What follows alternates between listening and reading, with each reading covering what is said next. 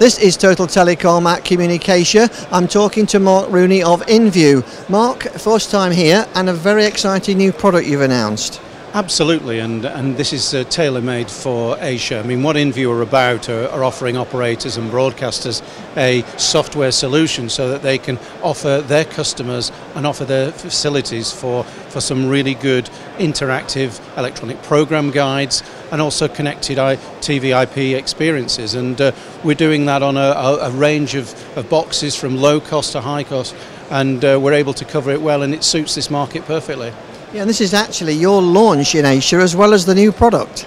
Absolutely, and the thing about Asia is that there are, is, a, wide variety of, of, different requirements in different countries. But because we can really go on to the entry level uh, side of things or the high end things with our software, it means that whether it's a country that's got high penetration of, uh, of broadband or low penetration, we've got something for all these people because we offer a range of different services as part of that, whether it's uh, targeted advertising or it's broadcast only boxes or putting boxes out into the market that can be upgraded later or it's at the very high end.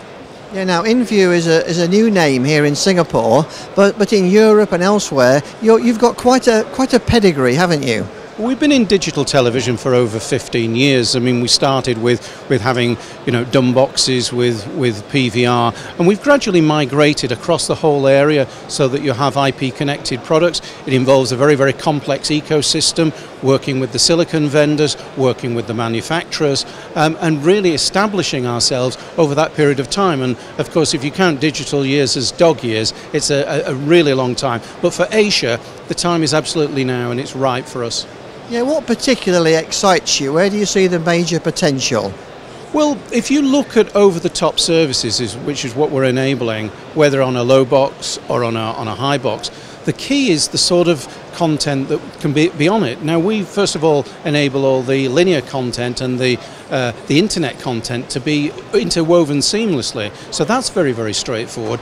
But when you start looking at some of these apps, then you can you start looking at things like education on top of the video on demand, the audio on demand, we have a karaoke app actually, which we, we know is, is going to be very popular here. We have social networking, but the educational tools and the things like that for Asia start to become very important. And uh, again, that's another aspect that this region probably has much more of a, of a focus on than perhaps other areas in the world. Okay, well, I'll keep away from the karaoke uh, app. I'm sure my wife will be very pleased if I don't get involved with that. But best of luck with the new product. Thank you very much, Brian.